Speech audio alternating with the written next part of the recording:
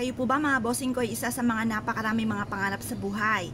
Asya mga bossing ko, ako po may tuturo sa inyo para ang mga pangarap nyo pong yan ay hindi hanggang pangarap lamang. Maggawin natin ito makatotohanan, kukulayan na po natin at hindi hanggang drawing lamang. Ngayon pa mga bossing sa pamamagitan ng isang butil po mga bossing ko ng ating bawang at ganoon din po mga bossing ko ang ating uh, sile, mga bossing, ay may kakayahan po ito na makapagtaboy ng mga kamalasan. Halimbawa mga bossing ko, kayo po ay parang feeling po ninyo lagi minamalas, nako, perpektong sangkap po ito.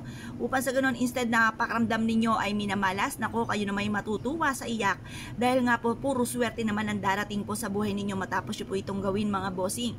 Proven po ito na napakaswerte basta't may 100% kang paniniwala sa magatong mga pamamaraan. Ako po may rekomenda sa inyo, mainam na subukan nyo po ito.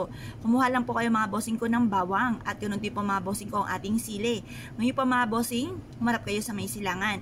Gawin nyo po ito ng 6.30 or kaya po alas 7. Mag-wish po kayo ng mula sa inyong puso. Sabihin nyo sa pamamagitan ng aking pampaswerteng ginagawang ito sa sipag at syaga, double time sa pagkayod at sa mahigpit na pagkapit sa mahal na Panginoon ay matutupad lahat ng mga pangarap ko sa aking pong. Magkakaroon ako ng sarili kong bahay na malaki magkakaroon ako ng magagarang sasakyan at magkakaroon ako ng negosyo na dito na ako yayaman. Magkakaroon ako ng lahat ng aking mga pinapangarap sa buhay. I-wish na po lahat ng nais po ninyo na walang gamit na sana direct to the point. At pagtapos po mag-wish mga bossing ko, kayo po mga bossing ko ay ibilad nyo po ito sa sinag ng araw hanggang alas 8 lang ng umaga. Huwag kayong mag-alala, hindi po ito kaagad matutuyo dahil ang alas 8 ng umaga, yan hindi naman po masyado masanting ang sinag ng araw po niyan. At yan po yung nagbibigay pa ng swerte mga bossing, kaya ako paborito rin po ang magbilad sa sinag ng araw ng 6.30 hanggang alas 8 ng umaga.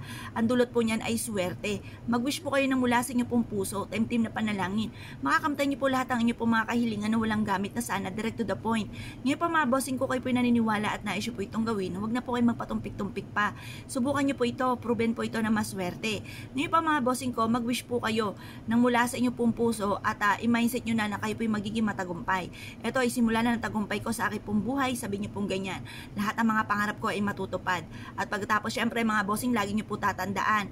Kung tiripik po ang ating mga pangarap, tiripik din ang pagkayod. Kasi kung kayo po konting kembot lamang ay pagod na at um, napakaraming pangarap, ay wag mo nang umasa mga bossing ko. Kasi di, depende po yan sa ating kasipagan. Ako ay naniniwala sa mga tao masisipag madiskarte, walang imposible. Pero kung kayo po ay konting kembot lamang ay pagod na at kayo po ay isa sa mga negatibong tao, nako mga bossing, sigurado ko po sa inyo, parang suntok sa buwan para lang po uh, makamit ang mga pangarap. Talagang yan po pinaghihirapan talaga. Nagsasakripisyo po talaga mga bossing kung kayo po ay maraming mga pangarap sa buhay.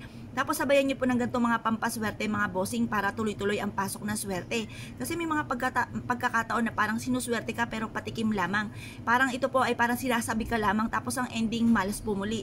Ito po ay mainam na subukan niyo pong gawin upang sa ganon ang swerte ay magtuloy-tuloy at kapitan po kayo. Ngayon pa mga bossing ko kayo pinaniniwala at nais po itong gawin. Asya mga bossing ko, good luck po sa inyo po lahat.